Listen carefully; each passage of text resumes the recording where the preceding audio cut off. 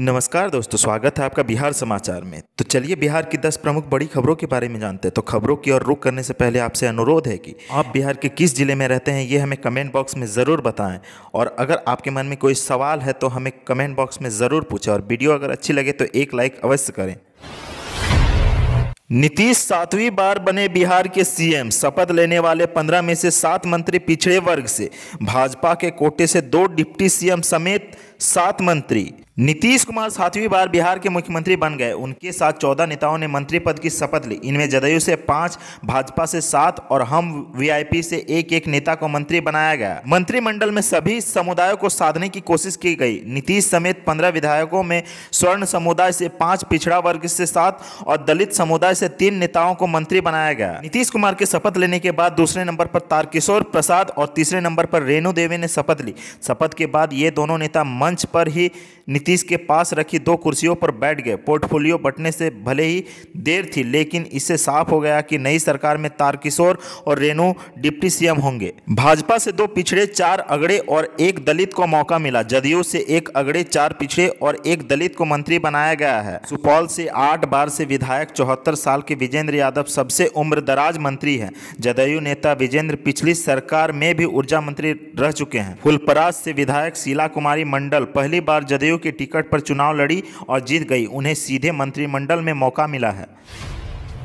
तारकिशोर प्रसाद और रेणु देवी ने ली शपथ। बिहार में पहली बार दो डिप्टी सीएम। बिहार में पहली बार दो डिप्टी सीएम सरकार में बनाए गए हैं। बीजेपी के तारकिशोर प्रसाद और रेणु देवी ने राजभवन में पद एवं गोपनीयता की शपथ ली है। बीजेपी की तरफ़ से इन दोनों को सरकार में डिप्टी सीएम की कुर्सी दी गई है। इसके पहले नीतीश कुमार की कैबिनेट में बीजेपी की तरफ़ से केवल एक डिप्टी सीएम हुआ करते थे। सुशील मोदी की छुट्टी करने के बाद अब बीजेपी नेता तारकिशोर प्रसाद और रेणु देवी को ज़िम्मेदारी सौंपी है। तारकिशोर प्रसाद कटिहार विधानसभा सीट से चुनाव जीतकर सदन पहुँचे हैं। वहीं चौथी बार विधानसभा के लिए नवनिर्वाचित हुए हैं, जबकि रेणु देवी भी चौथी बार जीतकर सदन पहुँची। रेणु देवी बेतिया से विधानसभा सीट से चुनाव जीतकर आती है। पहली बार भारतीय जनता पार्टी ने नया प्रयोग करते हुए किसी महिला को डिप्टी सीएम की कुर्सी दी है। नीतीश कुमार के साथ शपथ लेने के बाद नीतीश कुमार के साथ तारकिशोर प्रसाद और रेणु देवी भी राजभवन में बने मंच पर बैठे हुए थे।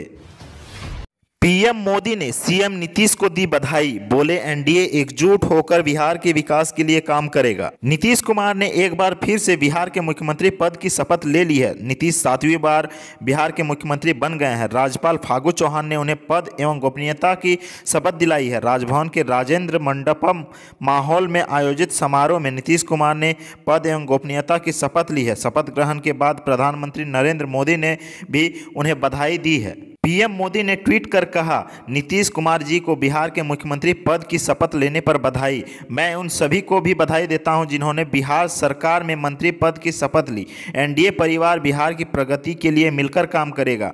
मैं बिहार के कल्याण के लिए केंद्र की ओर से हर संभव सहायता का आश्वासन देता हूँ।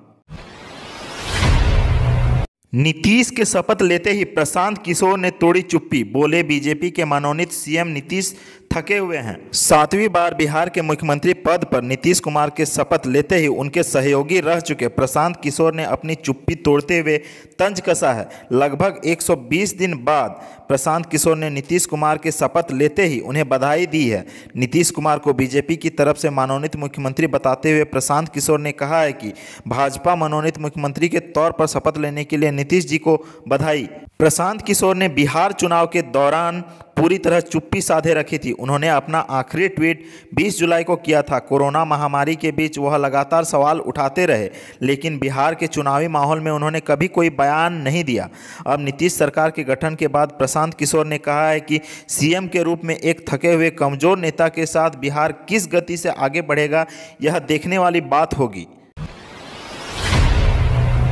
तेजस्वी ने बधाई देते हुए नीतीश कुमार पर साधा निशाना। बोले, उम्मीद है कि सरकार अपना वादा निभाएगी। नीतीश कुमार ने एक बार फिर से बिहार के मुख्यमंत्री पद की शपथ ले ली है। नीतीश सातवीं बार बिहार के मुख्यमंत्री बन गए हैं। राज्यपाल फागू चौहान ने उन्हें पद एवं गोपनीयता की शपथ दिलाई है। राजभवन के राजेंद्र मंडपम माहौल में आयोजित समारोह में नीतीश कुमार ने पद एवं गोपनीयता की शपथ ली है। शपथ ग्रहण के बाद राजद नेता तेजस्वी यादव ने उन पर निशाना साधते हुए बधाई दी है और कहा, आदरणीय श्री नीतीश कुमार जी को को मुख्यमंत्री मनोनीत होने पर शुभकामनाएँ। आशा करता हूँ कि कुर्सी की महत्वाकांक्षा की बजाय वो बिहार की जन, जनकांक्षा एवं एनडीए के 19 लाख नौकरी, रोज़गार एवं पढ़ाई, दवाई, कमाई, सिंचाई, सुनवाई जैसे सकारात्मक मुद्दों को सरकार की प्राथमिकता बनाएँगे। बिहार में नीतीश की नई सरकार में नहीं होंगे, पिछली सरकार के ये तेरह मंत्री, ये है वजह। बिहार में विधानसभा चुनाव 2020 जीत के बाद एनडीए की नई सरकार के गठन के कवायद के बीच, इस बार नीतीश सरकार में पिछली सरकार के तेरह मंत्री नहीं होंगे। सबसे पहले पिछली सरकार में उप मुख्यमंत्री रहे सुशील मोदी, इस बार बिहार सरकार में शामिल नहीं होंगे। वहीं दो कपिल देव कामत और विनोद कुमार सिंह दिवंगत हो चुके हैं, जबकि शेष दस चुनाव हार गए हैं। इनमें जदयू के आठ, भाजपा के दो मंत्री शामिल हैं। भाजपा के सुरेश शर्मा, ब्रजकिशोर बिंद, वहीं जदयू के कृष्णनंदन प्रसाद वर्मा जय कुमार सिंह, शैलेश कुमार, लक्ष्मेश्वर राय, संतोष निराला, खुर्शीद उर्फ़ फिरोज अहमद, रमेश ऋषिदेव, रामशंकर सिंह हार गए हैं। सूत्रों के अनुसार बिहार विधानसभा के अध्यक्ष को लेकर दोनों दलों में जीत फंस गई है। संख्या बल के हिसाब से भाजपा ने इस पद के लिए दावा कर दिया है, जबकि जदयू पिछली सरकार की तरह इस पद को अपने पास रखना चाहती है। उसका तर्क यह भी है कि विधान परिषद के कार्यकारी सभापति भाजपा के ही हैं, जबकि उस हाउस में जदयू के भाजपा से अधिक सदस्य हैं।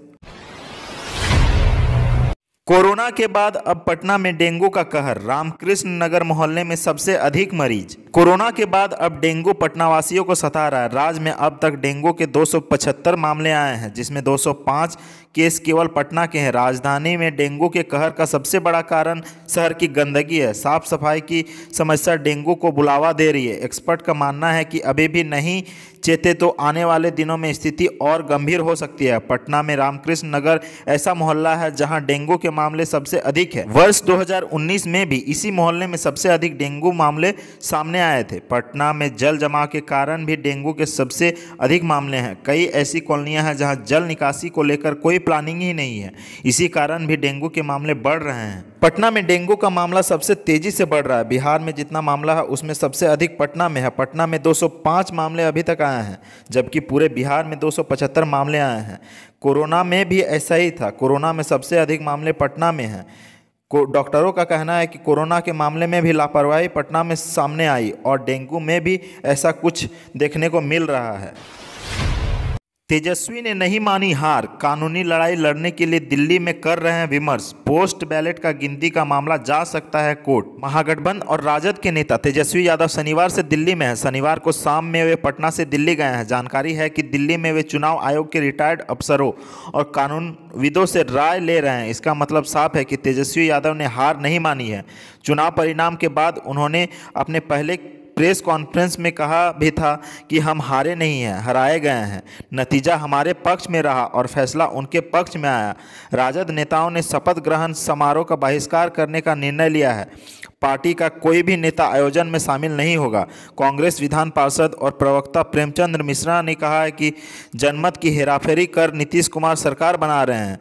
इस वजह से कांग्रेस पार्टी से भी कोई शपथ ग्रहण समारोह में नहीं जाएगा। भाकपा माले की ओर से आयोजन में कोई शामिल नहीं होगा। राजद का कहना है कि पंद्रह सीटों पर मतों की गिनती में बड़ी गड़बड़ी की गई है। पोस्ट बैलेट की गिनती में 900-900 तक वोट रद्द किए गए हैं। तेजस्वी यादव ने आरोप लगाया है कि सीएम हाउस के इशारे पर वोटों की गिनती में गड़बड़ी की गई है। गिनती का नियम निर्धारित है कि पोस्ट बैलेट की गिनती पहले की जानी है। तो किसके दबाव में उसकी गिनती सबसे बाद में की गई? उन्होंने यह भी कहा कि चूँकि नियोजित शिक्षकों ने बड़ी संख्या में वोट किया था और इसीलिए पोस्ट बैलेट के वोट बड़ी संख्या में रद्द कर दिए गए। तेजस्वी ने यहाँ तक कि कहा कि पोस्ट बैलेट की गिनती सही से हो जाए तो उनकी सरकार बन जाएगी। नई विधानसभा का पहला सत्र 23 नवंबर से नए विधायक लेंगे शपथ। स्पीकर का होगा चुनाव। नीतीश सरकार ने 23 नवंबर से विधानसभा का पहला सत्र बुलाया है। हालाँकि इस फैसले पर कैबिनेट की औपचारिक मोहर लगनी बाकी है, लेकिन सरकार ने 23 नवंबर से सत्र बुलाने का फैसला ले लिया है। 23 नवंबर से नई विधानसभा का पहला सत्र होगा। इसमें सबसे पहले प्रोमेट स्पीकर को मनोनीत किया जाएगा, जो नए विधायकों को शपथ दिलाएँगे। नए विधायकों का शपथ ग्रहण होने के बाद विधानसभा का स्पीकर का चुनाव होगा। गौरतलब है कि जेडीयू बीजेपी के बीच ये तय हो चुका है कि इस दफे विधानसभा अध्यक्ष बीजेपी का होगा। अब तक विधानसभा अध्यक्ष रहे विजय चौधरी ने आज मंत्री पद की शपथ ले ली है। बीजेपी की ओर से नंदकिशोर यादव को विधानसभा अध्यक्ष बनाए जाने की चर्चा हो रही है। पार्टी ने नंदकिशोर को मंत्री नहीं बनाया है। अब बात करते हैं सबसे अंतिम खबर की। छत्तीसगढ़ के सीएम ने कहा, बंगाल चुनाव तक ही टिक पाएगी बिहार सरकार।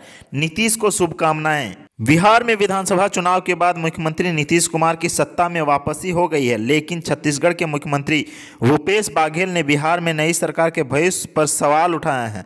सोमवार को दिल्ली रवाना होने से पहले मुख्यमंत्री भूपेश बाघेल ने कहा है कि बिहार में एनडीए की जो सरकार बनी है, वो कब तक टिकेगी देखना है। भूपेश बाघेल ने कहा है कि सुशील मोदी जैसे अनुभवी नेता को क्यों हटाया गया? दो कम अनुभवी नेता को डिप्टी सीएम बना रखे हैं। आखिर माजरा क्या है? उन्होंने कहा, बिहार की नई सरकार सिर्फ़ बंगाल चुनाव तक ही टिक पाएगी। भूपेश बाघेल बिहार चुनाव में कांग्रेस के स्टार प्रचारक रहे हैं। केंद्रीय नेतृत्व ने उन्होंने विधायक दल का नेता चुनने की ज़िम्मेदारी सौंपी थी। बताया जा रहा है कि मुख्यमंत्री भूपेश बाघेल बिहार कांग्रेस विधायक दल चुनाव की रिपोर्ट लेकर ही दिल्ली गए हैं। आज वे कांग्रेस महासचिव प्रियंका गांधी से मुलाकात करेंगे। इसके बाद वे अहमद पटेल से भी मुलाकात करने वाले हैं। तो इसी तरह बिहार से जुड़ी खबरों के लिए सब्सक्राइब करें हमारे चैनल को और बने रहें हमारे साथ। धन्यवाद।